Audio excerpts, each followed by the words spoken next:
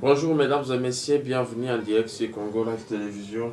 Merci de votre fidélité, vous nous suivez de partout à travers toutes euh, nos plateformes.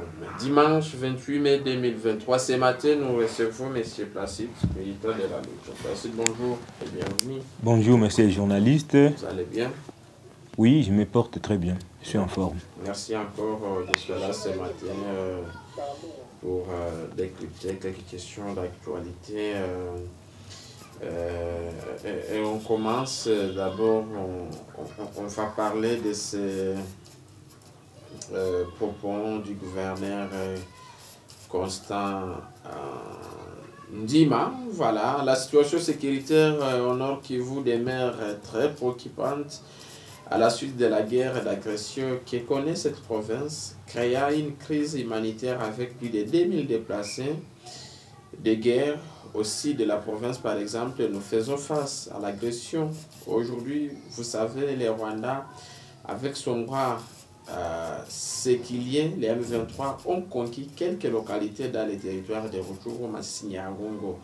Aujourd'hui, autour de la ville de Goma, c'est pourquoi j'ai dit que la situation reste préoccupante. Gouverneur Constant Dima, lieutenant général. C'est comme à l'accoutumée.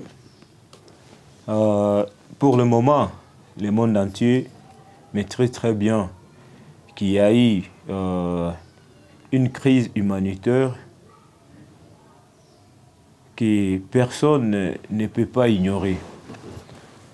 Ici au Nord Kivu, euh, la crise nous imposée par euh, l'Occident via les Rwandais, bien sûr, au travers euh, leurs chiens de chasse, euh, les rebelles du M23, ça nous apporte beaucoup de corollaires.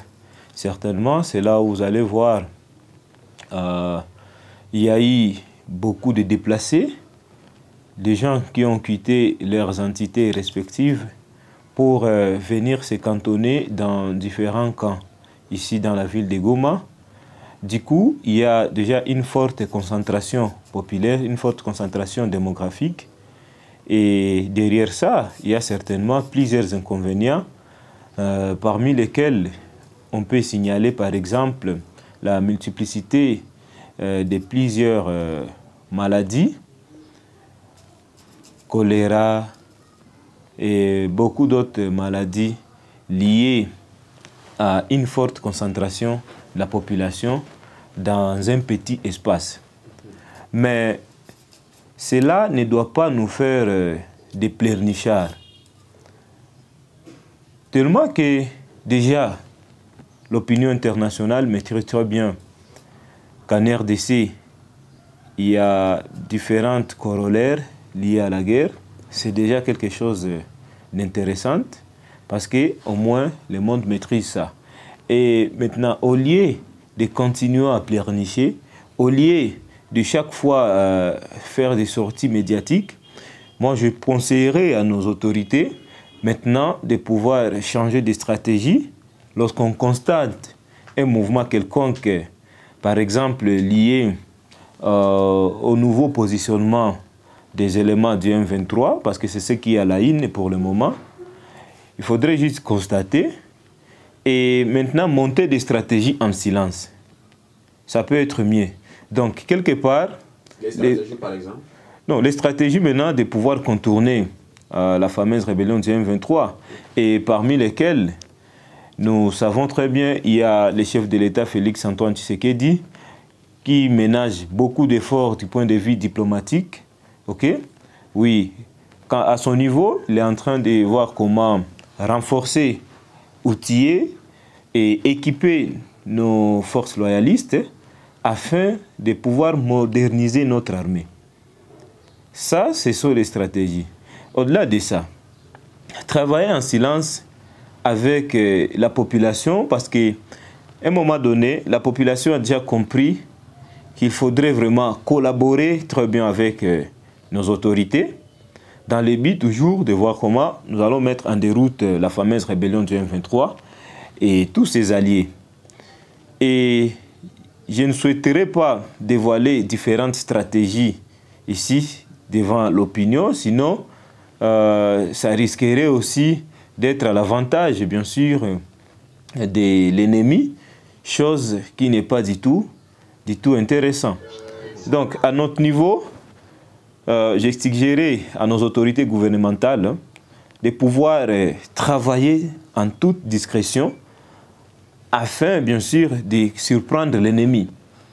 Et maintenir le silence n'est pas synonyme de rester distrait. Ce n'est pas synonyme euh, d'observer. Vous comprenez au moins? Et donc, dans le silence, on peut y soutirer euh, beaucoup de choses qui peuvent nous être très efficaces pour euh, barrer route au plan de l'ennemi, au lieu que chaque fois, nous puissions être là à faire des sorties médiatiques, une fois de plus, des sorties médiatiques qui seront là pour euh, bon, nous transformer, bien sûr, aux gens qui, qui, se lamentent de jour et nuit. Vraiment, ça ne donne pas une, une bonne image à notre pays. Conseil des ministres, la coalition M23 d'IF renforce ses positions en vue d'une offensive générale visant l'occupation de la ville de Goma. On a suivi l'extérieur d'un rendu. Hein. À l'est du pays, la situation. Oui, oui.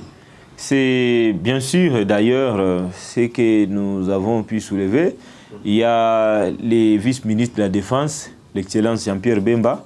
Il a dénoncé ça depuis, d'ailleurs depuis la Chine. Et c'est ce qui a été repris dans les conseils des ministres. Et donc, certainement, ils sont en train de renforcer leur position. Euh, mais ce qui est sûr, la fameuse rébellion du M23 avait déjà raté sa chance de s'accaparer la province du Nord Kivu. Et donc, euh, la chance ne reviendra pas pour la deuxième fois. Donc, l'époque où la fameuse rébellion du M23 devait vraiment s'accaparer de la province du Nord Kivu, pas seulement de la province du Nord Kivu, mais je dirais peut-être de toute la RDC, c'était à l'époque euh, du régime passé, du régime euh, euh, de M. Joseph Kabila, parce qu'au moins à cette époque, on les avait octroyés plusieurs postes régaliens, on les avait insérés dans beaucoup de nos institutions étatiques. Donc, comprenez, à cette époque-là, vraiment, s'ils avaient euh, ce courage de récupérer toute la République, ils pouvaient le faire et il n'y aurait aucune personne qui pouvait vraiment euh, les freiner dans ces plans. Mais pour le moment, ce n'est plus possible parce que au moins on a compris avec les efforts du chef de l'État, il y a eu beaucoup de changements et c'est là où vous êtes en train de voir, il y a des arrestations en cascade de, certains caciques qui collaboraient bien sûr avec euh, la fameuse rébellion du M23. Et à part ça, dans notre armée, il y a des défections. Donc, tous ces gens là-bas que M. Joseph Kabila avait réussi à insérer dans nos différentes institutions, encore pas n'importe lesquelles, je dis bien les institutions régaliennes, ok? Euh, Ces gens, voyant un nouveau souffle, ils craignent vraiment que l'on puisse mettre la main sur eux. Donc, malgré les efforts de la fameuse rébellion du 23 pour le moment, nous sommes sûrs et certains qu'ils ne parviendront pas à occuper la province du Nord Kivu, comme ça a été tracé par leur plan. Qu'est-ce qui te donne cette assurance? Ce qui nous donne cette assurance, C'est parce qu'il y a ou bien parce qu'il y a quoi Non, non. Il y a plusieurs dimensions. D'abord, euh, cette collaboration civilo-militaire qui a déjà pris une autre allure, c'est vraiment euh, un gain que personne ne peut nier. À part ça, il y a maintenant cette prise de conscience collective du point de vue euh, considération de cette agression nous imposée par l'Occident au travers le Rwanda.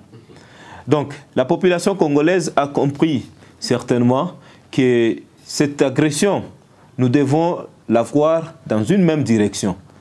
Qu'il n'y ait pas de divergence dans nos manières de penser. Et c'est là où vous avez vu, même les opposants, je cite Martin Fayoulou, je cite euh, euh, le sénateur Mata Tamponyo Mapon, la sénatrice Francine Mouyumba, ok, ce sont des opposants. Mais lorsqu'ils ont compris que c'est une question d'intégrité territoriale, Ils ont condamné aussi ils le ont Rwanda. condamné le Rwanda. Et d'une manière ouverte. Eh bien, vous ne pas Katumbi, lui, pas, il n'est pas parmi les gens qui ont condamné. Vraiment, je n'ai jamais entendu de sa propre bouche qu'il y a une condamnation de la part du Rwanda émanant de M. Moïse Katumbi. selon vous, pourquoi? Ah. Les pourquoi les Fayoulou, vous, dites, les- Oui, oui, la sénatrice Fayoulou, la sénatrice Mouyumba, Mata Tamponyo, euh, lors de son passage ici à Goma. mais Chez Katumbi, euh, presque donc, euh, donc personne de son cas qui a déjà condamné. Pourquoi c'est Euh, nous nous demandons aussi ça. Est-ce que- qu'activiste, euh, Est-ce que ça ne serait pas, ça ne serait pas parce que quelque part dans sa vie privée, là c'est sa vie Non, privée bien sûr, Allez-y comprendre. euh, Moïse Katumbi, personne n'ignore euh, euh, les origines de sa femme. Parce que chez nous, écoutez, chez nous en Afrique, hein, on respecte beaucoup la belle famille, vous comprenez au moins. Donc ça, c'est notre conception, nous les Africains. Et maintenant, je me dis, non, non, c'est drôle de, de dire que sa femme, Elle est d'où elle est congolaise, ok?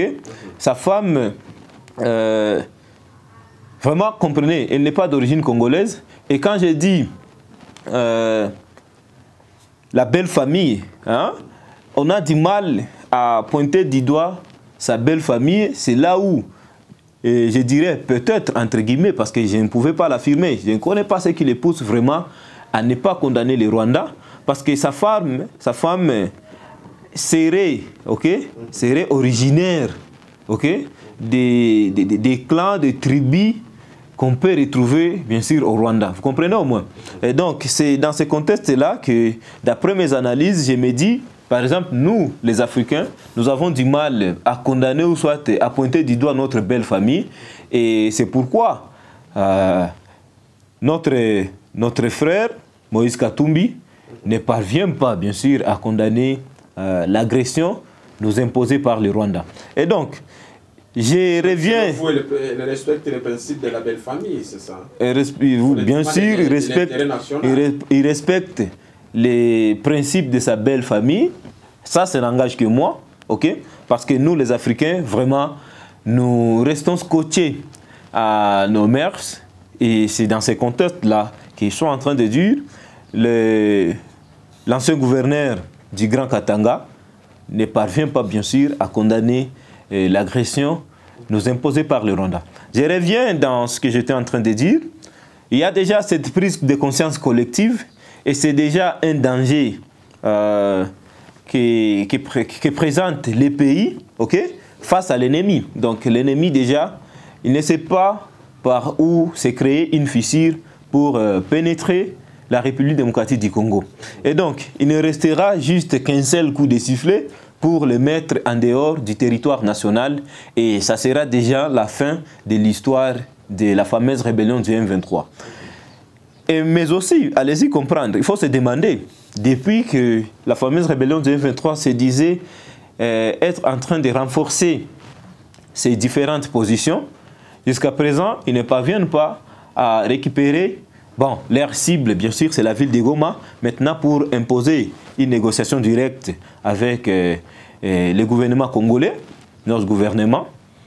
Il faut se demander qu'est-ce qui bloque leur plan de récupérer la ville. Et donc, moi je dirais c'est c'est c'est vraiment un échec parce que au moins si on ne peut pas nier derrière eux il y a presque les grandes puissances du monde entier, les grandes puissances qui détiennent et la technologie, les grandes puissances qui détiennent bien sûr euh, l'argent parce que c'est l'argent que tous ces gens utilisent, même lorsqu'ils étaient en train de gagner différentes entités ici dans le Nord Kivu.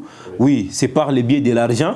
Et lorsque nous avons tous leurs amis, leurs alliés qu'ils avaient réussi à intégrer dans nos FRDC, ils savaient très bien qu'ils sont tellement fragiles face à l'argent. Et ce n'était pas vraiment par les combats que ces gens gagnaient différents territoires dans la province du Nord Kivu.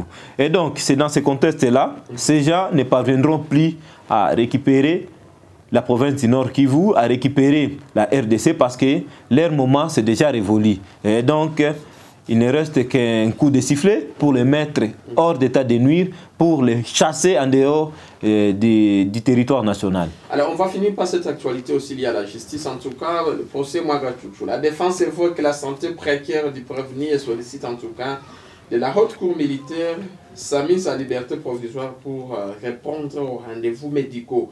Mais le ministère public a répondu par rapport à la liberté provisoire euh, de Magachuchu. Si les prévenus euh, voyagent pour l'étranger, quel pouvoir aura les juges congolais de les faire venir en cas de nécessité? C'est ça la question. Alors, le procès se poursuit. On parle et on évoque de sa question liée à la santé où ces avocats sollicitent qui, qui, disons, à la haute cour militaire euh, que leurs clients se déplacent, euh, se rendent pour des soins médicaux. Voilà. Ce ne sont que des échappatoires. Parce que pour le moment, ok, allez-y comprendre, les dossiers commencent à devenir de plus en plus limpides petit à petit. Et d'ailleurs, l'audience, la dernière audience, oui, euh, les prévenus d'ailleurs, Edouard Mangachuchu lui-même, il a affirmé, par le biais bien sûr de son chargé de sécurité, oui, Mouchamali Roy, j'ai dit bien, euh, ils ont affirmé que leurs euh, éléments de sécurité commis euh, à la société SMB, ce sont bien sûr euh, des gens à morphologie rwandaise. Vous comprenez? Et donc, petit à petit, la justice est en train de trouver des éclaircissements par rapport au greffe ok, sur le prévenu Edouard Mwangachuchu. Et maintenant, voyant que euh, les choses deviennent claires et ces avocats ont la crainte de voir que leur, leur patron est en train d'être mis à nid, ok? Ils cherchent maintenant, ils sont en train de monter des stratégies afin de faire échapper entre les mains de la justice euh, leurs clients. Vous comprenez au moins? Et donc, ils savent très bien qu'au travers euh, la demande des mises en liberté provisoire pour des raisons sanitaires, c'est déjà pour eux un pari gagné pour faire échapper leurs clients. Et maintenant, à notre niveau, nous sommes vraiment confiants à notre justice hein, parce que ça prouve déjà quelque part une certaine maturité. Bien sûr, avec les expériences mais passées, pourquoi seulement lui, on ne veut pas lui donner. Non, non. Parce qu'on a vu certains d'autres politiciens, quand on les arrête directement, vous, voilà, ils sont malades. Il y a ceux qui bénéficient de, de- de- de cette liberté ou de cette grâce. C'est ce que je suis en train de dire. Ce sont les expériences ok, qui rendent de plus en plus matures. Comprenez? Donc la justice congolaise prouve déjà sa maturité. Après avoir commis ces petites erreurs dans le passé, il ne faudrait plus encore euh, que nous puissions tomber dans de telles situations. Et c'est pourquoi la justice, vraiment, elle est tellement prudente de ne pas accorder euh, cette opportunité. Parce que pour moi, je considère ça, c'est une opportunité pour euh, le prévenu Edouard Mangachuchu d'échapper à la justice.